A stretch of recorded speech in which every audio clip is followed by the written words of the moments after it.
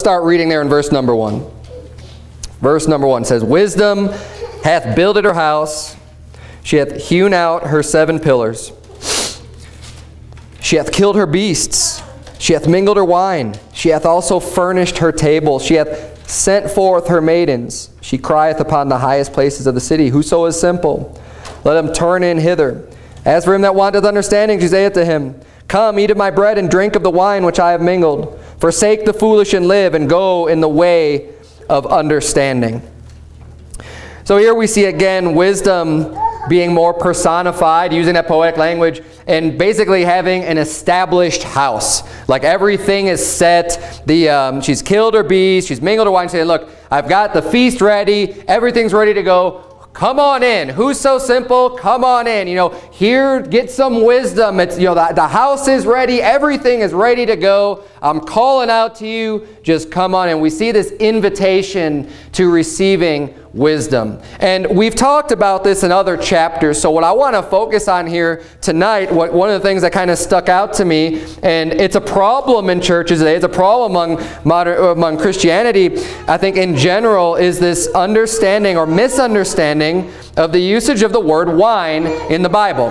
Now we notice here, look at verse number 2. It says she hath killed, this is all about wisdom, right? So this is a good thing. Like everything that's mentioned here are, are good things. She's killed her beasts. She hath mingled her wine. She hath also furnished her table. And then in verse number 5, Come, eat of my bread and drink of the wine which I have mingled. Wine is being used there in a good context, in a positive context. Everything here in verses 1 through 6 are, are good thing, you know, good attributes of wisdom. Hey, I've got the food ready to go, the table's all set, you know, I've got the wine, and everything's good to go. And see, people don't understand that wine does not always mean an alcoholic beverage in the Bible. And I want to really go into depth tonight and, and kind of cover this. It's not going to encompass the whole sermon, don't worry, but it's going to be a significant portion of it because this is an important concept because a lot of people who are weak, a lot of people who are ignorant, that don't know any better can look at something like this and be like, well, wine's a good thing. And you'll find throughout the Bible, you'll find two extremes. You're either going to find that wine is a really good thing, it makes the heart glad, it's a, know, it's a blessing from God, or it's extremely wicked and bad and evil and you shouldn't even look upon it. Right. And when you go through, and, and, I encourage you, if you have any problem with this at all, if you don't agree with what I'm saying, to look it up and do your own study on this to see if what I'm saying is even true. Because we're not going to look at every reference to the word wine tonight. I have many of them. It's almost it's mostly going to be from the Old Testament because guess what? This subject's going to come up again and again as we continue through Proverbs. This is not the only time we're going to deal with this subject, but this is one of those truths and wisdom in the Bible, especially in the book of Proverbs, that is important in our lives because I'll tell you what, you start drinking alcohol, it's going to ruin your life. That's right. And that's not just some dramatic statement that I'm just making to try to scare you. It ought to scare you, but that's not the point. It, it's the truth. Right. Drinking alcohol will ruin your life. It's going to cause you to do things that you never would do otherwise. It's going to get you to walk in the flesh and not be walking in the spirit. It's only going to bring sorrow and, and, and pain into your life. Amen. Now, I'm going to start with a little bit of worldly wisdom or proof, rather, not wisdom, just proof, that the word wine historically in the English language has been used to refer to non-alcoholic beverages. That is a fact, and I don't know why people stumble over this fact. It's mostly ignorance, but anybody who's going to claim, nope, if it says wine, it just means alcoholic wine, and that's all wine has ever meant, that's a lie. That is false. And I have here, I'm going to read for you. I, I copied off, you know, I, I, found this book online. Google's great. I got these ebooks up there, and you can kind of skim through it and even search through it. And this is just one example. I have found many because I've dug into this. So this is a subject, I'll just let you know, I'll, I'll bare my heart to you a little bit. This is close to home for me. This was a, a problem that I had in my own life. This is one of the big sins that was a part of my life and it's ruined a lot of the time that I could have, while I was saved, that I could have been doing work for Christ, but I wasn't because I was living like a fool. Because I was like the, the, the wayward son, the, you know, the prodigal son that was just off in the, in the gutters, in the, in the swine pit. Just off in the pigsty somewhere. And this will ruin your life. And, and, and I am so much against this drinking of alcohol and people that promote it, especially the, the pastors or the Christians that say, oh no, drinking's fine in moderation, it's just drunkenness. No, it's not. But let's start off. I'll start off by just giving you some history of the usage of the word wine. While yes, it has always referred to alcoholic beverages, that is not the only reference that it's ever used for. I'm going to be quoting here from a book, and I don't have the reference for you. I apologize for that. Um, I didn't write it down in my notes. But um, there's plenty out there. And this was referenced from other references anyways in this book. There's, you know, there's a whole bibliography and stuff. It says, until the close of last century, and this was written in the 1800s, by the way. So until the close of last century, which was the 1700s. It says, nearly every dictionary of science included several species of unfermented wine under the head wine. So when you go and look in a dictionary, right, you have the, the main word, and then usually you can have a bunch of other, or you go look up a certain word, and it refers you back to another definition because it's like the same thing or it's all included under that definition. It says, several species of unfermented wine was found under the header wine. So you look up wine in a dictionary, you're going to find the references to unfermented wines. For example, Blount's Glossographia 1070 has must. So the word must, um, it's another usage, another, it's, it's almost synonymous with the word wine, but it's a non-alcoholic. It says, for must, new wine is the definition. Must is new wine that first pressed out of the grape. That's called the must. When you first press the grape, what comes out here, the, the dictionary definition of this Blount's glossographia, if I'm even pronouncing that right, that definition was new wine for must, for something that's just, just brand new came out of the grape. Right. That has no alcohol in it. That's right. It just was pressed out of the grape. And it was defined as being new wine. It says Parkinson, the king's herbalist, in his Theatrum Botanicum in 1640, okay, right around the time of the translation of the Bible, says the juice or liquor pressed out of the ripe grapes is called vinum, wine. Vinum, right? It's from the vine. It's wine. It's a, you know, it's it's probably a Latin root, and um, and that word liquor too. It's real close, that word liquid. It's a liquor, the liquor of, of uh, you know, again, it's another word that we think of today. Oh, you can't hold your liquor and you just think of spirits, you think of really strong alcohol. But liquor also historically has not always meant, you know, alcoholic drinks because it's the liquid that comes out of the fruit or whatever. It's, that's what it is. And that's, the, you know what, and that's just a fact. Right. Okay, I, I, I hate to, you to come to church and be confused with facts, but that's a fact. It says here, um, of it is made both sapa and defrutum, in English cute, that is to say boiled wine, and both made of must and new wine. Dr. Sprat Bishop of Rochester, 1702, says in his History of the Royal Society, the juice of wine, when dried, does always granulate into sugar as appears in raisins and also in those vessels in which cute or unfermented wine is put. Chambers Cyclopedia, 1750, enumerates six distinct kinds of unfermented wine. The fact in language for which we contend is admitted by Dr. Urey in his Dictionary of Chemistry as late as 1831 under wine, he says, this grape juice, when newly expressed and before it has began to ferment, is called must, and in common language, sweet wine.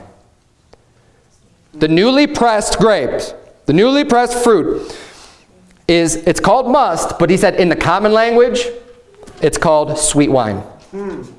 That is a common language. And Do you remember the, the purpose of this book that was translated in English and the, in the revisions of the previous versions? It was to be so that the people could have the God's word in the common language. Right. It was a common language of the day. English, it was a common language and the common man can pick up God's word for once and be able to read it for themselves.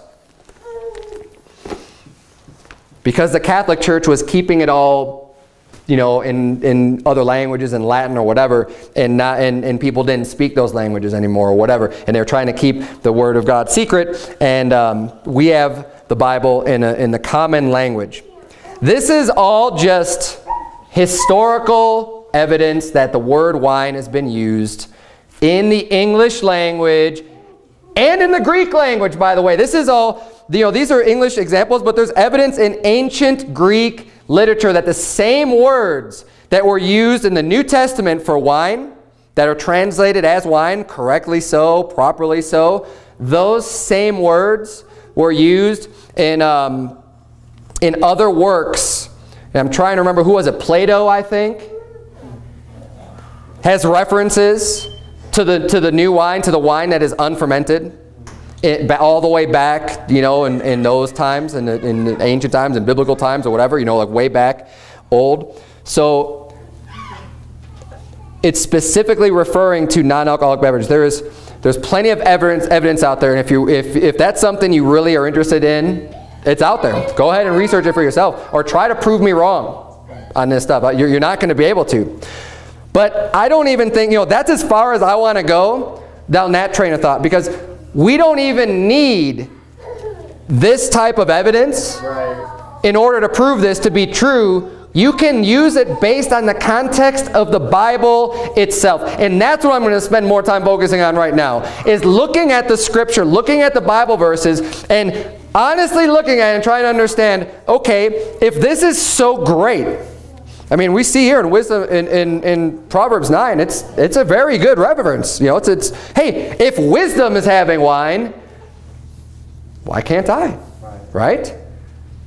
Well, what wine are we talking about? right. Either there's contradictions in the Bible, even within the same book of the Bible, Proverbs, because as we go on a little bit further, we're going to see, look not thou upon the wine when it is red. And notice there's a condition there, when it is red, when it giveth its color a cup, when it moveth itself aright.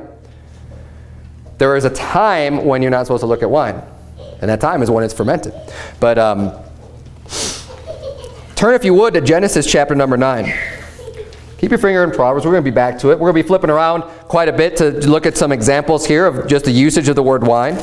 Genesis chapter 9. It's going be the first time you're going to see the word wine used here. Genesis chapter number 9. We're going to start looking at some examples here of not positive examples of the word wine. Genesis 9, 21 is talking about Noah after he got off the ark. And he drank of the wine and was drunken. And he was uncovered within his tent. So in the context, this passage is obviously referring to alcoholic wine because he drank wine and then he was drunken. And then he passed out and didn't even know what his younger son had done unto him until he woke up. And that's what he said in, um, in verse number 24. And Noah awoke, not from his sleep, from his wine, because he was passed out drunk. Noah awoke from his wine and knew what his younger son had done unto him. Not what he saw, what he had done unto him. This is a very bad first usage or reference of the word wine. Wouldn't you agree? Yeah. Now, this also demonstrates the fallibility because people put too much emphasis on the rule of the, the, you know, the law of first mention is what people call it, or the rule of first mention. Now, I think it's very useful because it's used for determining what a word means. If you want to know what a word means, generally in the Bible, you could go to the first time it's used and get a pretty good understanding of what the word's talking about. However, just because you find the first place it's used does not mean that that is the only meaning for that word throughout all the Bible, regardless of the context. Right. You, you can't state that. Right. It's the same thing with the word repent. You know, the very first time that it's used, you know, God repented himself that he made man upon the earth.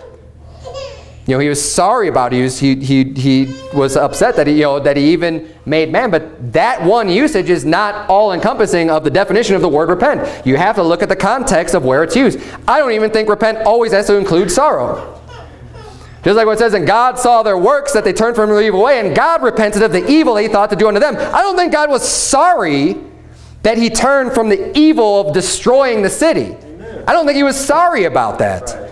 He was probably glad that they turned from their wicked ways and he said, great, now I don't have to destroy you. But he changed his mind. There was no sorrow involved in that decision. So you can't just go off of the first time. Again, it's a tool, it's, it's a concept, but the Bible doesn't say, every time I mention a word first, that is the meaning and always use that meaning throughout the Bible. No, that's a man-made thought. So while it could be a useful tool, just don't get so caught up into that where that is dictating how you, how you interpret the Bible, because it shouldn't. If that were the case here, we use a rule of first mention. Say, well, see, wine's always talking about alcoholic drinks, because it was here in this, in this passage. That would be ridiculous. And, and as we get on, you'll see how ridiculous that concept would be anyways. But um, you know, pay attention to the result of drinking that wine. This is one of the reasons why I'm so far against it. I'm so hard against this because look at what happens. I mean, that's horrible. What his son had done unto them, and then he gets this great curse. I mean, I'll let you use your own imagination on what he had done to him as he was passed out in the tent. It's what any, you know, even guys do this to women. But guys do it to guys too. Taking advantage of people when they're passed out drunk. It's wickedness. Turn to Genesis chapter 19. We'll see another mention. Another negative mention, and it's not going to be that very difficult to figure out what type of wine we're talking about. Genesis 19, we're going to see a story about Lot. After he comes out of Sodom. And he's in the cave. Uh, Genesis 19, verse 32. His daughters are talking, says, Come, let us make our father drink wine, and we will lie with him that we may preserve seed of our father. And they made their father drink wine that night. And the firstborn went in and lay with her father, and he perceived not when she lay down, nor when she arose. He had no idea. Why? Just like Noah, he was passed out drunk. Based on the, on the context here, it's not very difficult to figure out what wine they're referring to. And again, look at what's happening as a result of drinking alcoholic wine. It's not good. I mean, this is some of the, these are some of the worst things that can happen to a person in your lifetime. Being sodomized by your son, having your daughters commit incest with you. I mean, how much worse can it get? As a result of getting drunk and passing out. Who knows what's going to happen? You're vulnerable to anything. Leviticus chapter number 10. Turn, if you would, to Leviticus 10. I'll, I'll, wait for you to get there because this is important that you see this. We'll see another reference to wine in Leviticus in God's law. And again, from the context, I think you'll be able to tell that we're talking about um, an alcoholic beverage here in Leviticus chapter 10. Leviticus chapter 10, we're going to start reading in verse number 8. The Bible reads, And the Lord spake unto Aaron, saying, Do not drink wine nor strong drink, thou nor thy sons with thee, when ye go into the tabernacle of the congregation, lest ye die. It shall be a statute forever throughout your generations, in that ye may put difference between holy and unholy, between clean and unclean. God says if you drink wine and you come into the tabernacle, you're going to die. That's how serious God treats it. And you know what? Drunkenness in the Bible is a sin, but it's not the death penalty. In God's house, he says when you enter the tabernacle of the congregation, that's the death penalty. Yeah. He says you're going to drink wine and you come in here. Why? Why is it the death penalty? Well, because you need to show there's a difference between that which is holy, that which is sanctified, that which is set apart for God, and that which is unholy. That which is unclean and that which is clean. What does that say there? That that wine and strong drink is unclean. It's unclean. Right. If it's not even allowed, it's, look, it's unclean. Why would you want to be taking something that God says is unclean and putting that in your body? Consuming that. It's unclean. It's unholy. In the Old Testament, the priests were not allowed to drink wine or strong drink in the tabernacle because it's unclean. But Christians want to use alcoholic wine to represent the blood of Christ in communion. It's unbelievable.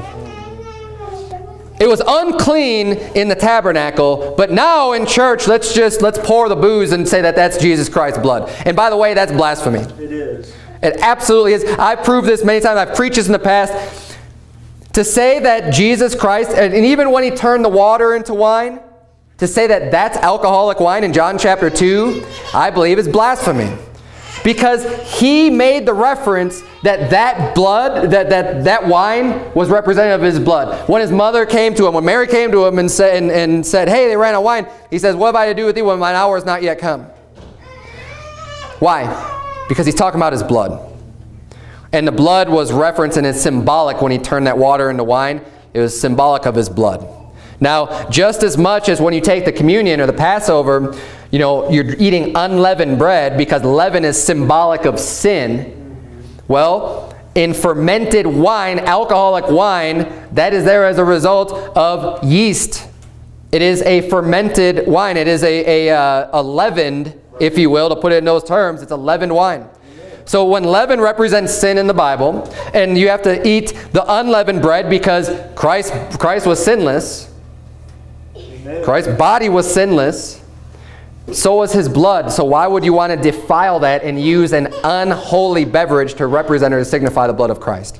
Jesus didn't do it. I guarantee you didn't do it at the wedding in Cana. I guarantee you that, that you know, the, the, the early church that was eating and drinking the, the unleavened bread and the wine for the Lord's Supper, when Jesus Christ met with his disciples, it was non-alcoholic wine. It was unfermented because it was representative of the blood of Christ, which is pure and perfect and without anything unholy or unclean. Now, so far, we've only, turn if you would to Deuteronomy 32, we've only looked at references of alcoholic wine. It's obviously clear from the context that that is what it is talking about in all those passages we just looked up. When you see people being drunken and passed out, it's, it's not grape juice, my friends. So why do I think that wine can also refer to a non-alcoholic beverage? Where is the evidence? Okay, well, we're going to start looking at some of that. Deuteronomy 32 and verse number 31. Deuteronomy 32, verse 31, the Bible reads, For their rock is not as our rock, even our enemies themselves being judges. For their vine is of the vine of Sodom and of the fields of Gomorrah. Their grapes are grapes of gall. Their clusters are bitter. Their wine is the poison of dragons and the cruel venom of asps. So why do you keep saying their wine, their vine, their grapes? Because it's different than our wine and our vine and our grapes. Amen. What they have is different than what we have. There's a distinction there. He's separating, saying, the wine that they got, that's the poison. He says, it, I mean, the poison of dragons, the cruel venom of asps. Who wants to drink that stuff? The wicked, the sodomites. They want that stuff. It's not for you. Their wine is not as our wine. Hey, their rock's not like our rock. Turn if you would to Amos chapter 2. And, that, and, I think that proves, I mean, you, there's a distinguishing between two types of wine. Saying their wine versus our wine. Their wine is bad. Their wine is wicked. Their wine is poison. And alcohol, my friends, even science will tell you this, alcohol is poison. It is not good for you. Drinking alcoholic beverages. You can find the studies that say, oh, drinking a glass of wine a day is good for your heart or whatever. You know why there's any benefit at all? It's because it's coming from the juice. It's not coming from the, the fermentation of the alcohol. It's coming from the juice part. Amos chapter number 2. Is everyone there? Amos chapter 2. We start reading in verse number 6 of Amos chapter number 2. Thus saith the Lord, For three transgressions of Israel and for four, I will not turn away the punishment thereof. Because they sold the righteous for silver and the poor for a pair of shoes that pant after the dust of the earth on the head of the poor, and turn aside the way of the meek. And a man and his father will go in unto the same maid to profane my holy name. And they lay themselves down upon clothes laid to pledge by every altar, and they drink the wine of the condemned in the house of their God. The wine of the condemned. So that sounds like a little bit of a different wine than the wine that's being served in the house of wisdom. The wine of the condemned is a specific wine being referred to here. It's a specific wine being mentioned. You know what? They're drinking the wine of the condemned. And you know what this is showing to me? That drinking the wine of the condemned is a transgression. Because the Bible said there, we start reading in verse number 6, For three transgressions of Israel, and for four I will not turn away the punishment thereof. And then he lists off what they're doing that are transgressions. Because they sold the righteous for silver. That's one of them and the poor for a pair of shoes. They pant after the dust of that. Look, they turn away the side of the meek. And a man and his father going into the same maid. I mean, that's wickedness. It's extreme wickedness that these that the Israelites were doing at this time. And it says, and they drink the wine of the condemned in the house of their God.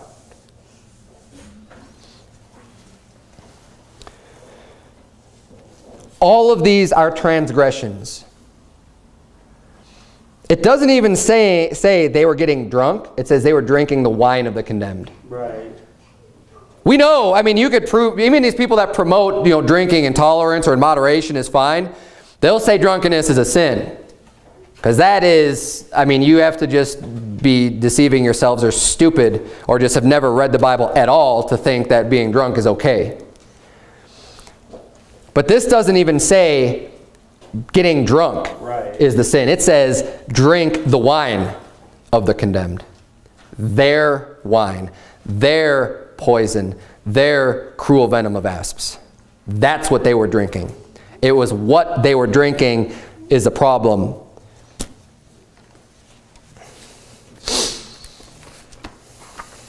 Proverbs 20 verse 1 says, wine is a mocker. Wine is a mocker. Strong drink is raging, and whosoever is deceived thereby is not wise. So wait a minute, wine's a mocker? Again, does this say drinking too much wine will make a mockery of you? It says wine is a mocker. I thought wine was a blessing from the Lord. Well, it is. Now, we either have a contradiction in the Bible because, you know, the Bible is, is somewhat schizophrenic here saying one thing and then another thing. Or we're talking about two different beverages. Right.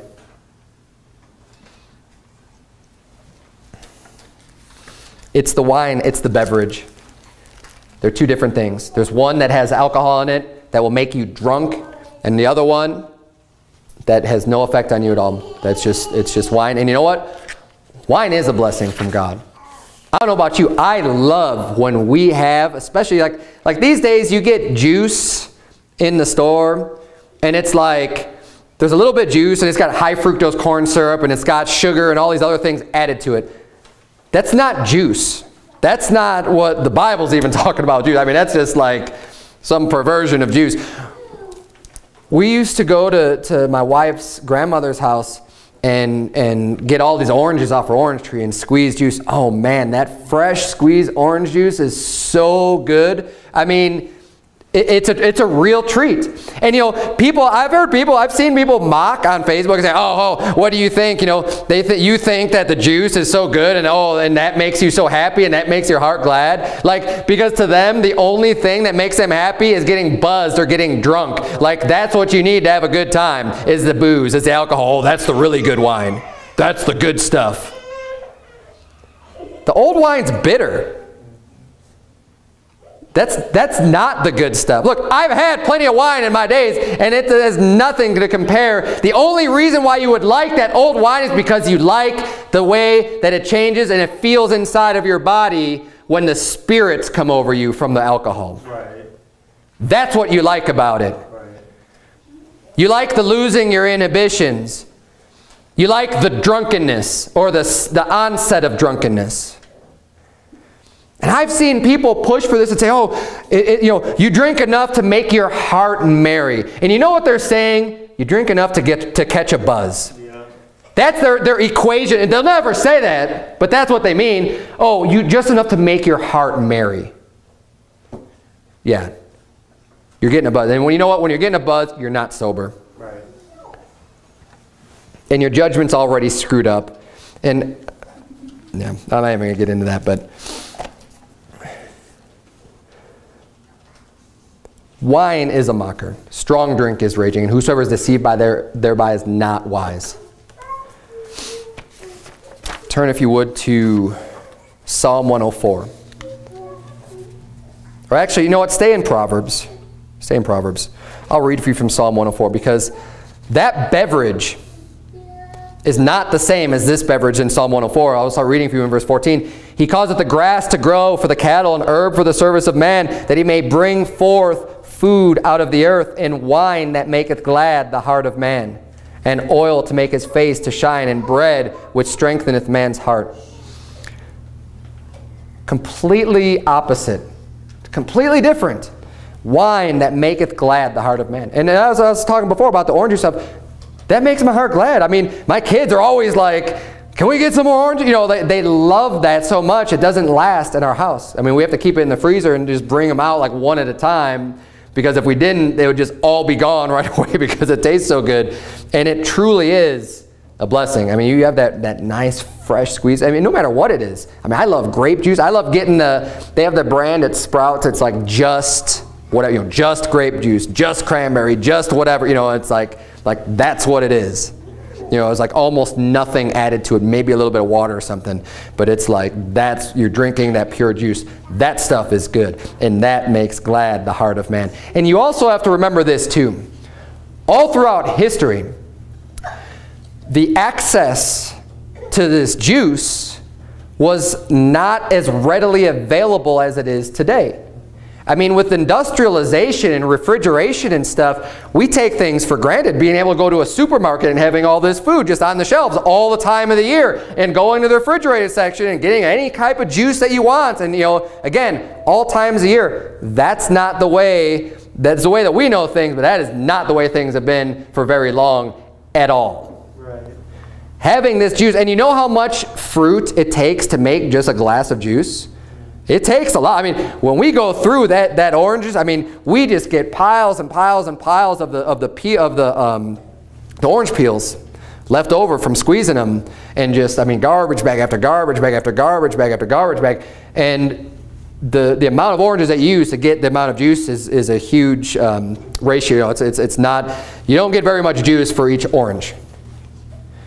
And um, which makes it more expensive right? It makes it more valuable and desirable because it's like, hey, I'm getting all of this juice. This is like 20 oranges or whatever, right? In one little glass of juice.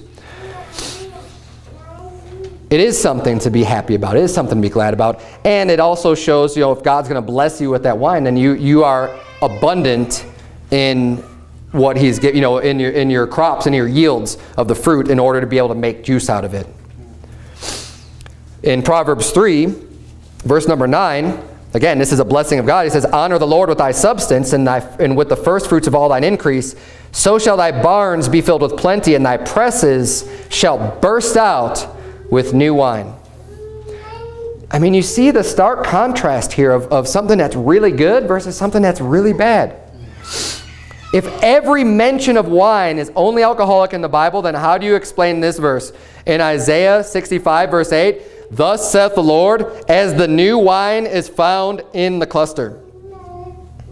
And one saith, destroy it not, for a blessing is in it. New wine found in the cluster. A cluster is a cluster of grapes on the vine still. Right? He's saying the new wine is in that. But wine always means there's alcohol in it. Hmm. Isaiah 65, 8 doesn't seem to, to, to point to any alcoholic content when the new wine is found in the cluster. It doesn't come from, it's found in the cluster. It's there because the juice is still within the grape on the cluster. and that is referred to as wine.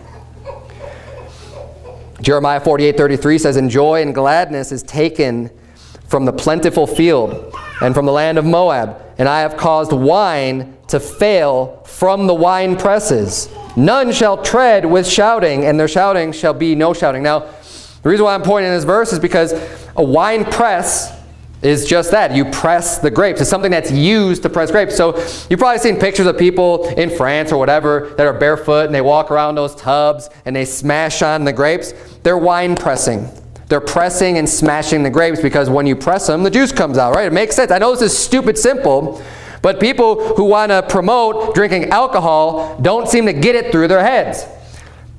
Jeremiah 48, 33 says, I have caused wine to fail from the wine presses. Wine is coming out of the wine press. It is not having alcoholic content at that point, yet it's still referred to as wine. Right.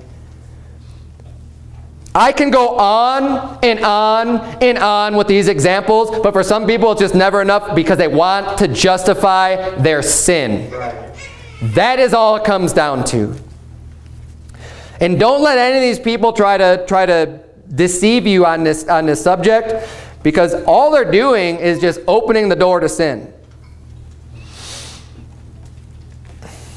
The determination on alcoholic or not when it comes to the wine in the Bible is strictly on the context. That is how you know what the Bible is talking about. I believe this, even strong wine or strong drink, when you see those terms, I don't think that's always necessarily talking about alcoholic. It's strong, it's a strong drink, but see, we refer to strong drinks as being real, you know, alcoholic drinks or, or how much alcohol content is in it. Okay? But a strong drink, think about this. Have you ever had a, a strong coffee before versus just a regular coffee? Because I have. I've had some really strong coffee before versus regular coffee. Now, did that have anything to do with alcohol? No. I've had some strong teas before. Even juice, because this is what we're talking about. That cran have you ever had pure cranberry juice? I mean, you notice how almost every juice that you get in the store that's cranberry, it's cran apple, it's cran whatever, they mix it with other things because cranberry is so tart and it's so strong. Man, you get, get that just cranberry from Sprouts, oh, it's like $10 or something. you get like this little jar. That stuff will blow you away. I'll tell you what. I mean, that is tart, but it is strong. It, that is a strong drink. I mean, you need like a water chaser after you drink that cranberry juice just to, you know, because it's so strong. But that is a strong, you know. Now, I think many of the mentions are talking about an, an alcoholic beverage, you know, it talks about a strong drink or whatever, but I don't think it always is. Again, you, you look at the context. If it's negative, it's talking about an alcoholic beverage. If it's a positive reference, it's not alcoholic.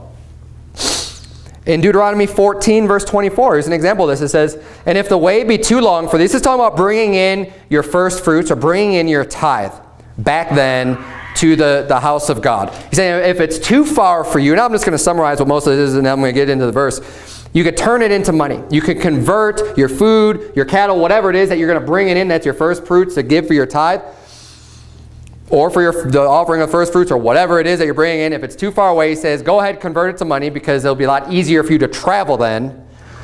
And then it says, Then shalt thou turn into money and bind up the money in thy hand, and shalt go unto the place which the Lord thy God shall choose, and thou shalt bestow that money for whatsoever thy soul lusteth after, for oxen, or for sheep, or for wine, or for strong drink, or for whatsoever thy soul desireth. Now again, He's not saying there, I don't think at all, that's talking about alcohol. He's saying, look, when you get there, whatever your soul wants, you want to get, you know, sheep, wine, oxen, whatever it is that you're going to use your tithe money now to convert back into a sacrifice, into something that you're offering and giving to the Levites because that was, a, you know, part of the purpose for it anyways.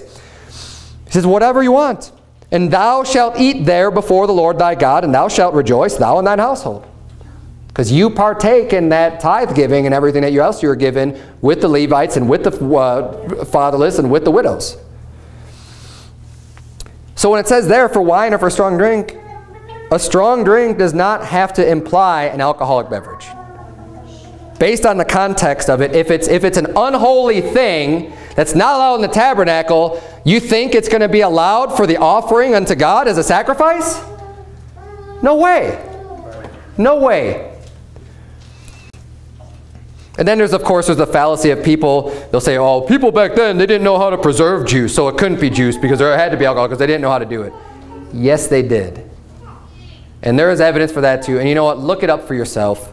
There is old literature out there describing the ways in which they were able to preserve juice.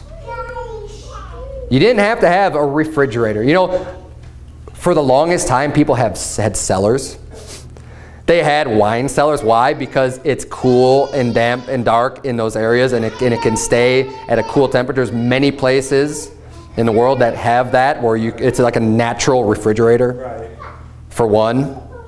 But even besides that, you know, you could clean the grapes. You could clean to make sure that you're getting all of the yeast and, and anything else off of there that would cause the fermentation process to start to begin with.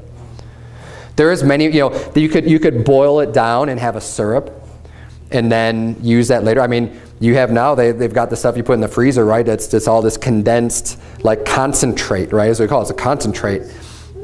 They knew how to do that back then. They weren't idiots. Right. Okay, we're not just, we just know everything today and they didn't know anything 2,000 years ago. Right. No. They actually knew probably more because they didn't have the convenience of having a, a refrigerator plugged into a wall. They had to know more on how to preserve things. So don't don't fall for that. And you know what? If you're really interested in it, the information's out there. I've looked it up before. I didn't bother to put it in with the sermon tonight because I want to get on to some other subjects. So you say, why did you spend so much time? You've already spent 40 minutes talking about wine in Proverbs and where it's not even really talking specifically about drinking wine, it's just using wine in a light context. Well, because there are the prophets out there that are going to tell you that drinking is just fine as long as you don't get drunk. Because there are plenty of people out there that are going to tell you if that's what you want to hear, they'll say it. And just like Micah chapter 2 verse 11 says, If a man walking in the spirit and falsehood do lie, saying, I will prophesy unto thee of wine and of strong drink, he shall even be the prophet of this people. That was a, a, a, cut on the people that he's talking about there because he's saying, you know what? Any prophet that comes around, he's going to be saying that, oh, go ahead, drink the wine and the strong drink. It's good for you. You know, like, that's, that's the prophet of this people. It's a people who are looking for any excuse to sin for whatever it is their sin that, that, um, that they enjoy. If you enjoy drinking alcohol, yeah, there's going to be, you're going to find a prophet that's going to be able to tell you that it's just fine. But it's not. And I think we've amply proved that for tonight. Let's go back to Proverbs chapter 9. I'm going to continue on here. We're going to move on to our next topic. And these ones aren't going to be taken, don't worry, these aren't going to, I don't have as much time dedicated to these subjects as I did for the wine. But the wine thing, you know what, you got to hit that like, like regularly. Right. That is something that is so part of people's lives. It's, it's, it's being pumped around you all over the place. You can't drive down the highway without seeing the, the Bud Dumber signs and the, you know, all the different types of alcohol and booze just being thrown at you. And, and it's all over the place. And it ruins people's lives daily. Right. Next time we touch this subject, though, I'll probably get into a lot more New, New Testament context. We did a lot of Old Testament tonight. But I just wanted to prove to you that, you know, just because you see the word wine, it does not imply it's alcoholic. And we saw the word wine used here as a positive thing. It is not an alcoholic beverage. Let's keep reading here. So verse number 6 says, Forsake the way of the foolish and live, and go in the way of understanding. He that reproveth a scorner getteth to himself shame, and he that rebuketh a wicked man getteth himself a blot. Now I'm going to spend a little bit of time kind of going over a scorner and who a scorner is, because this is mentioned multiple times, excuse me, in this chapter. Verse 8 says, Reprove not a scorner, lest he hate thee. Rebuke a wise man, and he will love thee. So this is just, first of all, just starting to talk about, you know, being careful who you reprove. It's not always a wise thing to just tell everybody that they're wrong regardless of who they are and, and, and what they're about. There's times when it's wise for you to keep your mouth shut. even if it's just or righteous for you, you know, like you're not you're not judging hypocritically, you know, and you have a sincere heart for that person. Look, if that person's a scorner, the Bible's saying here, he that reproveth a scorner getteth to himself shame. You're going to shame yourself when you go out and try to reprove a scorner. It says, reprove not a scorner in verse 8, lest he hate thee. So you need to look out for the, the scorners and you don't waste your rebuke on them because honestly, a rebuke is a good thing. A rebuke is a good thing. Because a rebuke is letting you know if it's done properly, if it's done appropriately, if it's done biblically, a rebuke is going to let you know that you're doing something wrong. And I don't know about you, but I like to know when I'm screwing up because I don't want to continue to screw up. I want to do what's right. And if it, need, if, if it means a rebuke, that's fine. But, um, you know, a scorner, someone that scorns, well, let's look at this word scorning. So, uh, basically, the word scorning is just like a disdain for someone or having contempt is a scorner or someone who ridicules and mocks. So oftentimes in the Bible you see people are laughed to scorn. They laugh them to scorn. They laugh them to what are they doing? They're mocking them and ridiculing them. And that is being called being laughed to scorn, right? But it's also just when you have disdain for something or contempt for something is being scornful. So a little bit of wisdom here. You don't need to correct everybody. But there's definitely times when it's wise to keep your wisdom to yourself and to not do that reproof or rebuke. Proverbs 13 verse 1 says, A wise son heareth his father's instruction, but a scorner heareth not rebuke. See, the scorner's not going to hear it anyway, so there's no point in rebuking a scorner because they're not going to hear it. Right. They're not going to have anything to do with it. Now, the wise son's going to hear it, but the scorner, they have nothing to do with it. Proverbs 15, 12 says, A scorner loveth not one that reproveth him. Neither will he go unto the wise. A scorner wants nothing to do with being told that they're wrong. It's kind of a proud attitude, thinking that they know everything. They don't want to hear it. A scorner is better dealt with in ways other than rebuke. Proverbs 19 verse 25 says, smite a scorner. That means hit him. Smite a scorner, and the simple will beware. And reprove one that hath understanding, and he will understand. Now, you're saying, you know, a scorner, the only thing that's going to get through to a scorner is just like a slap in the face. Like a physical smiting.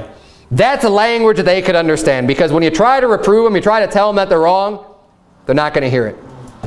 If you got understanding, you know what? You might not need a swift kick in the pants. But a scorner, that's about all they're going to understand. Proverbs 19 verse 29 says, Judgments are prepared for scorners and stripes for the back of fools. Why? A fool, that's all that's going to get through to him is just the beating, the whipping. That, that, that'll get through to him. Proverbs 21, 11 says, When the scorner is punished, the simple is made wise, and when the wise is instructed, he receiveth knowledge. Need to be aware of who these people are.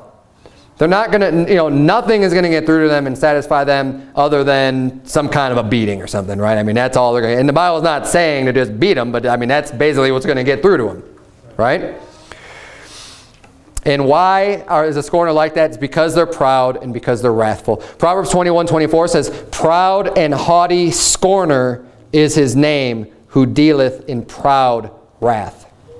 And in Proverbs 22 verse 10 says, Cast out the scorner, and contention shall go out. Yea, strife and reproach shall cease. The scorner causes problems. The scorner, like I said, he's mocking people, disdaining what you have to say, not wanting to hear the truth, and there's always a fight and always a contention. He says, you know what, get rid of that scorner. The guy that scorns and scoffs at, at what you believe or what you think. You know, if someone comes in like that at church, we need to get out of them because all it's going to do is just cause strife and contention within the church. Right. And Proverbs 29, 8 says, Scornful men bring a city into a snare, into a trap. But wise men turn away wrath. Scornful men are going to get you into trouble. And that's all they're about. And they can't be rebuked. They can't be told that they're wrong. They're real proud and they're full of wrath. So we need to watch out for the scorner. But so he's saying here, go back to Proverbs 9 here, where we're at. I don't think I had you turn anywhere else. Proverbs 9, reprove not a scorner in verse 8, lest he hate thee. Rebuke a wise man, and he will love thee. Give instruction to a wise man, and he will be yet wiser. Teach a just man, and he will increase in learning. And I think we could learn kind of uh, two sides of the same coin here in verse number 9. It says, Give instruction to a wise man. So you, as someone who might know or have instruction, is telling you who to give it to. Give instruction to the wise man. Don't give it to the scorner. You know, be careful who you're giving the instruction to, who you're rebuking and who you're correcting, and who you are opening up your mouth and, and providing instruction to. And if you do that, hey, the wise person, they're going to be even wiser. Teach a just man and you'll increase learning. But you could also look at this from the other standpoint of if you want to be a wise man, you ought to be able to receive instruction. The wise man will be yet wiser when you can receive instruction from someone else and you're not so proud that you don't want to hear what they have to say. And you could receive instruction from a lot of different sources. We need to make sure that none of us allow ourselves to get to a point to where we're above being taught. Right. We're above, you know, someone else rebuking us. Now, I'm sure there's going to be people on YouTube that are going to hear us and be like, oh, yeah, but you answered me. You know, it's like,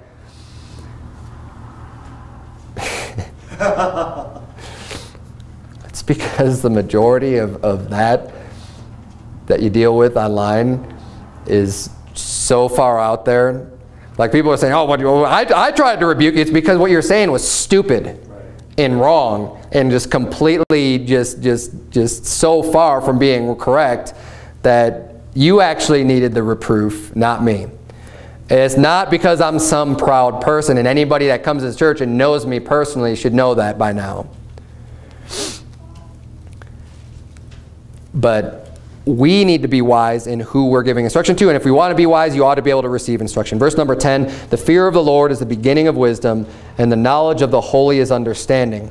For by me thy days shall be multiplied, and the years of thy life shall be increased. If thou be wise, thou shalt be wise for thyself. But if thou scornest, thou alone shalt bear it. Now we're going to move into the last section here for the sermon. We're almost done. The, the last verses here, Proverbs 9, verse 13. A foolish woman is clamorous. She is simple and knoweth nothing. So I'm going to read a little bit about a foolish woman. Clamorous means she's loud, right? Kind of loud and obnoxious. She doesn't have the gentle and quiet and meek spirit. That's a godly spirit that is in God's eyes, you know, of, of great value. The foolish woman is clamorous. She's simple. Simple means stupid, doesn't know very much. Very ignorant is what simple is. And knoweth nothing. For she sitteth at the door of her house, on a seat in the high places of the city, to call passengers who go right on their ways. Whoso is simple, let him turn in hither. And as for him that wanteth understanding, wanteth meaning lacking, like you, you don't have understanding, she saith to him, Stolen waters are sweet, and bread eaten in secret is pleasant.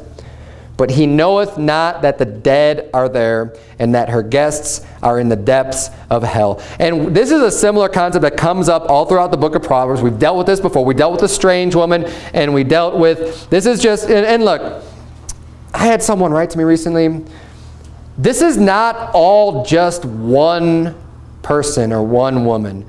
These are attributes of different types of women that are wicked that are doing bad things. They're not, you know, when we read about the strange woman, different areas and stuff, it's not just like there's this one woman that encompasses all of these things and that is the type of one woman that you need to look out for. These are all attributes of women, of different types of women that you need to be looking out for. They're not necessarily all going to have all of the same attributes. But we need, you, know, men need to be looking out for it because this is an adulterous woman. This is someone who at the very least is, you know, talking about fornication.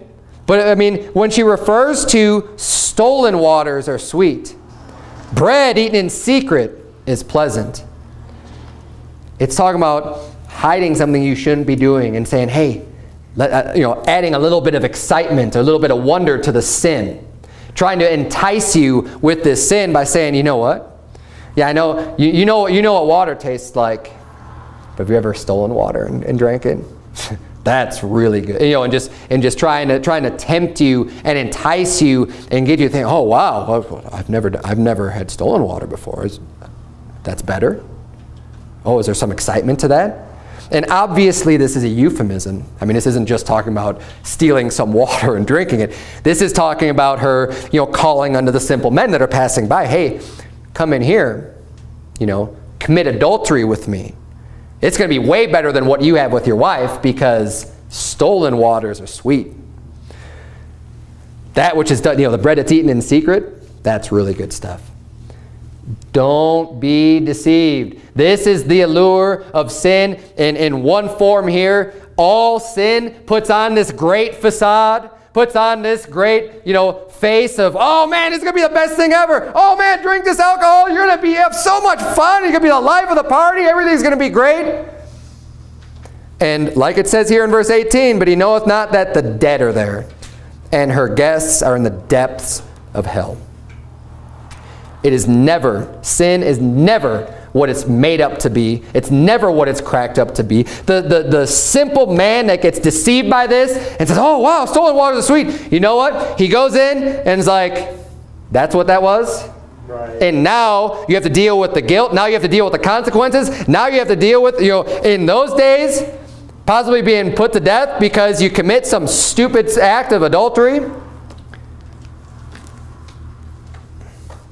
Don't be deceived by this. It's not worth it ever. Amen. Gain some wisdom. You know what? These the three main topics I covered tonight was wine, the scorner, and the foolish woman. And that's kind of what this is. I, I think, you know, sometimes you read the book of Proverbs, you think, what does this have to do with each other? I think that all of these topics blend together really well. When you look at, at, the, at, at, the wine, and you know, you might say, okay, I stretched that a little bit, but even just having the wisdom and, and, and being able to have all this knowledge and be able to sit in a good place, okay? Because I'm not gonna I'm not gonna say that my whole sermon I did tonight on wine is necessarily like found in this in this chapter, right? That was a little bit of a stretch, but I wanted to teach on that subject. But having this wisdom, because that is what the first part of chapter 9 was talking about, this place of wisdom where the, the, the table's set, the, you know, the beasts are there, the wine's ready to go, and then referring to the, to the scorner and, and showing that you have that wisdom not to deal with the scorner, and then again with the foolish woman.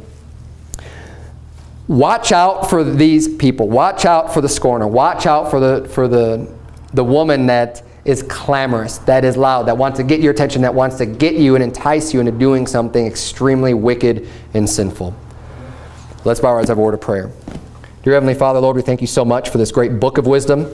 God, we thank you for um, teaching us. Help us to have a humble heart and a humble ear to be able to receive your words, dear Lord. I pray that you would please just help us to um, always be, be ready to, to hear a rebuke and also be wise enough to determine who we should be rebuking and who we shouldn't, dear Lord, that we're not um, rebuking scorners and um, just bringing on extra problems to ourselves that, that are unnecessary because they won't hear anyways.